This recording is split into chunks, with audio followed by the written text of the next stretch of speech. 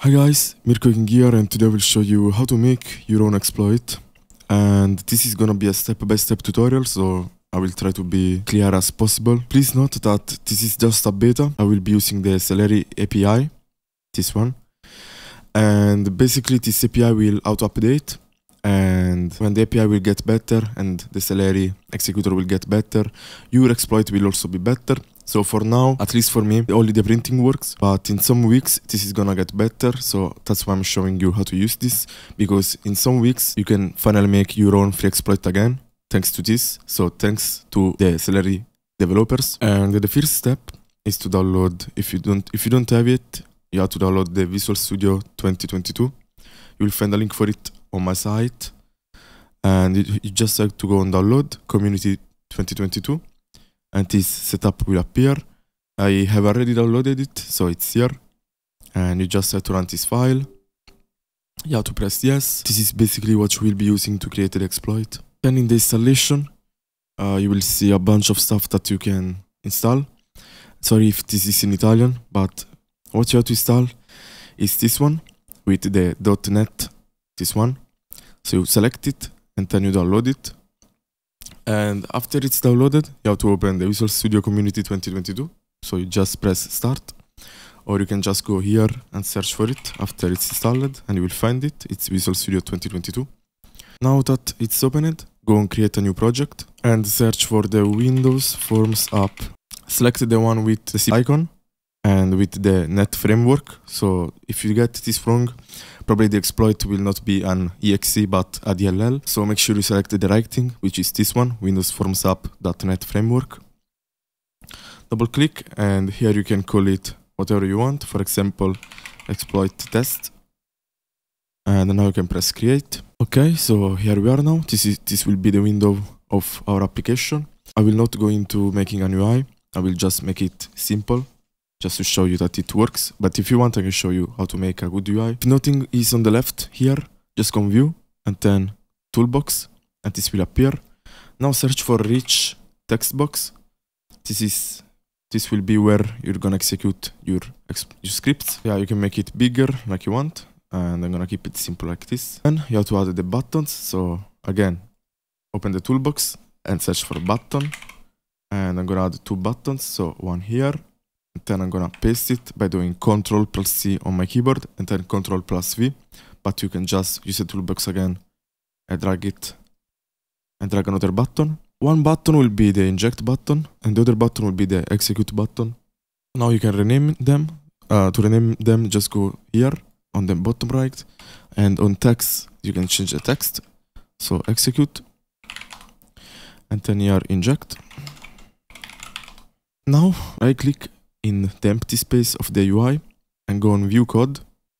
Now that you are here, you have to go on, you have to go on the solution explorer, right click, right click on references, add the reference, and then you have to select the Celery API that you will find on my site. So make sure you download it from my site.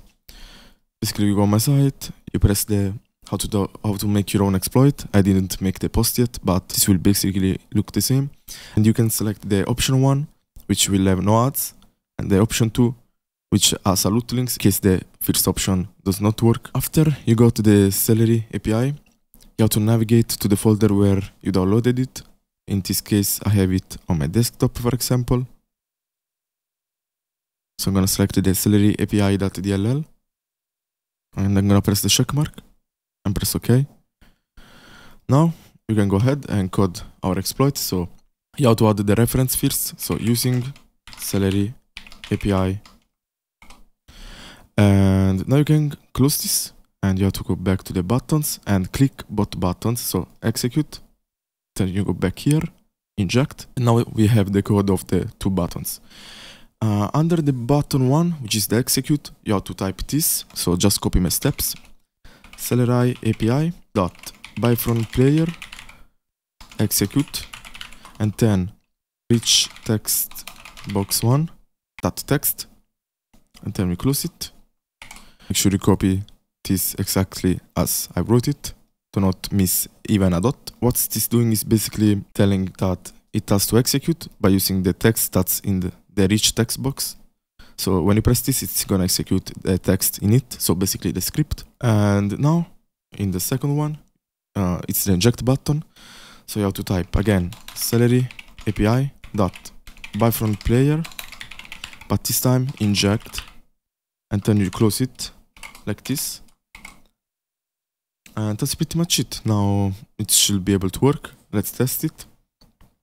Um, just go and build, build solution. Okay. And now to find your exploit, just navigate to the path over there. So you open your Explorer and you go like this. And as you can see, we have the exploit test.exe. I'm gonna open it and here it is. Now I'm gonna show you that this works. At least the printing works, but as I said before, it will support load string and it's gonna get better and better.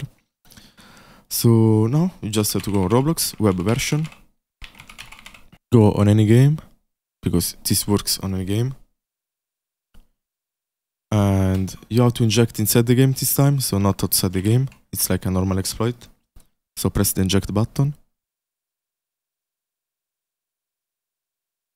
This will appear, press yes. As you can see, it's scanning. And now when it if when it says that it's ready, you are good to go.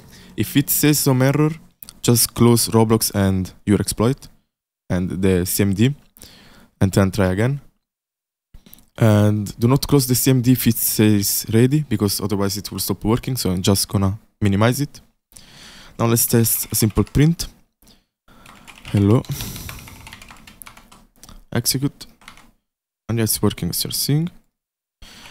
And print identity, print identity. It says that it's a level 3, even though some scripts are not working. Guys, this is pretty much it. I hope you like this tutorial. And don't worry, this is gonna get better. And thanks again to the Celery developers. From Rico that's pretty much it guys. If you need help, you can join my Discord server. And all the server boosters will be credited at the end of the video. And that's pretty much it. See you in the next one. Find the best Roblox cheats on kingexploits.com. My brand new site has no ads and has only direct links to all the exploits, scripts and tools that I will showcase. You can either search the hack by using the search bar or by just scrolling through the latest hacks uploaded. You can also send me your exploit or script if you want it to be showcased and added to my site. So guys, from now on, when you need an exploit, you know which site to use. And if you like it, feel free to add it to your bookmarks.